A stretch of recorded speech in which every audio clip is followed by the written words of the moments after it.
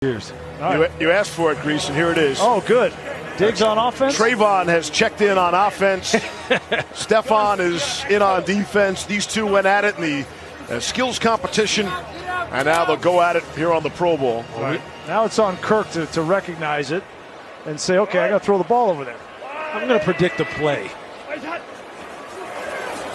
Their battles top of your screen. Cousins uh, goes to Kamara. I thought Stefon locked him down right there. Throw it to him, Kirk. Look at he tried to quick jam him and then grabbed him down the field. How many times they do that in the backyard growing up? A couple million.